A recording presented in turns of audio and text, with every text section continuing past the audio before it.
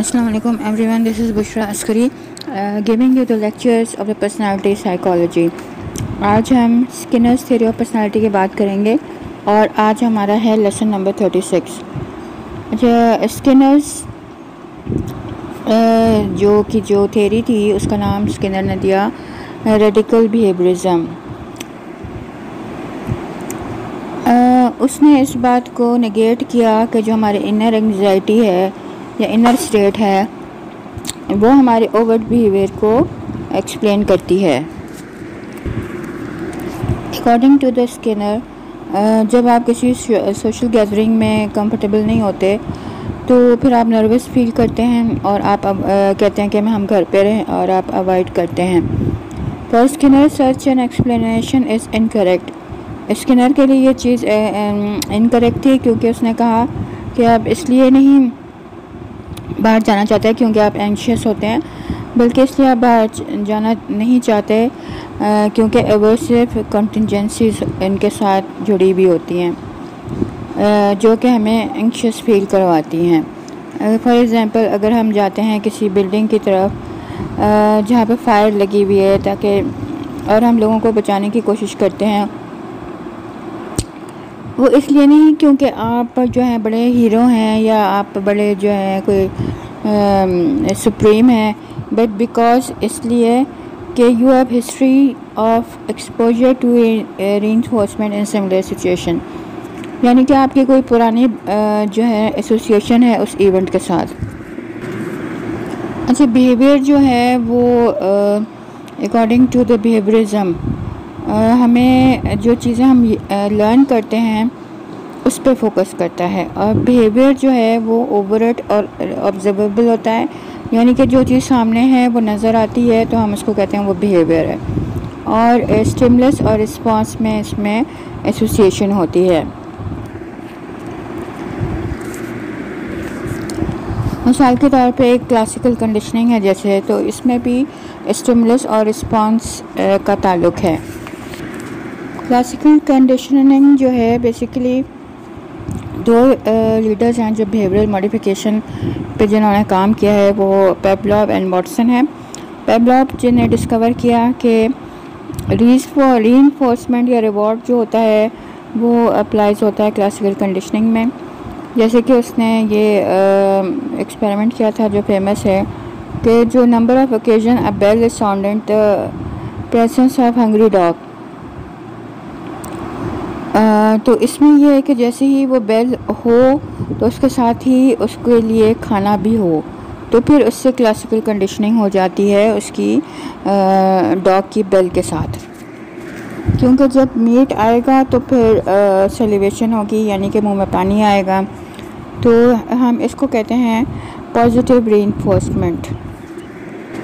सो conditioning उस वक्त ज़्यादा इफ़ेक्टिव होती है जब re reinforcement follow the condition stimulus regardless और whether the response has occurred और नॉट यानी कि जब मीट आएगा तो ये कि वो डॉग जो है सेलिब्रेट करेगा। Reinforcement is reward which can be material और सिम्बॉलिक नंबर टू पॉजिटिव और नेगेटिव stimulus response जो है, इसके कनेक्शन वैसे ही है, जैसे डॉलर एंड मिलर की थेरी की थी। जब every time the dog is presented a meat और उसके साथ bell बजेगी then dog will salivate extinction जो होती है, वो अकर होती है जब बेल बजे और मीट ना डॉग को मिले तो वो सेलिब्रेशन भी उसकी नहीं होती है। तो उसका मतलब हम ये कहते हैं कि there is an extinction in response यानी कि उस रिस्पॉन्स का ख़ात्मा हो गया अच्छा ये तो हो गया जैसे क्लासिकल कंडीशनिंग हो गई between stimulus and response association की अब ऐसा भी होता है when once when stimulus response condition association has been establish it can be use to establish another stimulus response association ऐसा भी होता है जैसे कि अगर बेल के साथ के जगह अगर हम ग्रीन लाइट को कंपेयर कर दें तो जो डॉग होगा वो ग्रीन लाइट पे भी सेलिब्रेट करेगा। This is call second order conditioning इसको हम कहेंगे कि ये सेकेंड ऑर्डर कंडीशनिंग है। एक और कंडीशनिंग है जिसका नाम है operant conditioning the other type of learning this is other type of learning which was develop by Thorndike और थॉर्नडाइक ने इसको कहा था इंस्ट्रूमेंटल और ऑपरेंट कंडीशनिंग तो स्किनर ने ये नोट किया that such as painting a picture crossing a street the response seem to be spontaneous and voluntary according to the Skinner operant conditioning वो होती है जो कि इन्वायरमेंट पर वो ऐसा रिस्पॉन्स हो जाता है और इन्वायरमेंट पर ऑपरेट करता है और चेंज करता है। जैसे कि एक कैट को अगर हम डाल दें उसमें मेज़ में या फिर पज़ल बॉक्स में डाल दें तो फिर आ, उसके साथ और उस पज़ल बॉक्स के आ, के एंड जो होता है वहाँ पर हम एक गोश्त का टुकड़ा रख दें। तो कैट जो है वो लर्न करेगी आ, कि किस तरह उस तक पहुँचना है टू गेट द रिवॉर्ड तो इस तरह वो लर्निंग प्रोसेस में आएगी। और this finding help Thorndike formulate his law of effect ये वाली जो फाइंडिंग है वो थॉन्डाइक ने इसको कहा है लॉ ऑफ़ अफेक्ट जो बिहेवियर जो होते हैं, वो जब रिपीट उस वक्त होते हैं जब वो सेटिस्फाइड होते हैं, यानी कि जब उनको रिवॉर्ड मिलता है और फिर वो री होते हैं। अच्छा दूसरी तरफ़ ये बिहेवियर वो ऐसे होते हैं जो कि रिपीट नहीं हो सकते क्योंकि उनको सेटिस्फेक्शन नहीं मिलती या उनको, जो रिज़ल्ट है वो पॉजिटिव नहीं होता। तो वन बिहेवियर्स आर पनिश्ड और उनको पनिशमेंट मिलती है तो फिर वो री उसकी नहीं होती है। So reward and punishment more the behaviour of animal as well human beings तो हम ये कह सकते हैं कि जो ये रिवॉर्ड एंड पनिशमेंट का जो कॉन्सेप्ट है वो एनिमल्स और ह्यूमन बींग्स दोनों में ये नज़र आता है।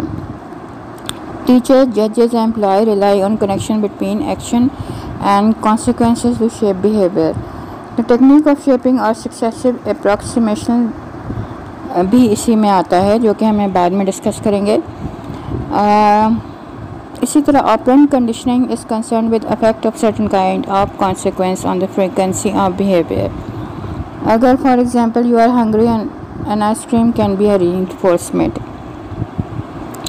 यानी कि जब आप हंग्री होते हैं तो फिर आइसक्रीम आपको एक रिवॉर्ड की तरह लगती है। अगर आप आइसक्रीम मिले तो आप खुश होंगे और आपको लगेगा जैसे आपकी एक डिज़ायर पूरी हो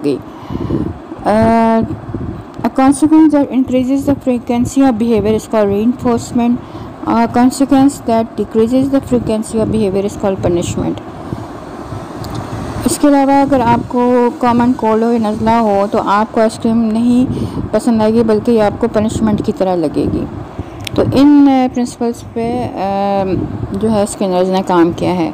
ओके स्टूडेंट आज का लेक्चर इतना ही। Next part of the lecture के लिए हमें लेसन नंबर थर्टी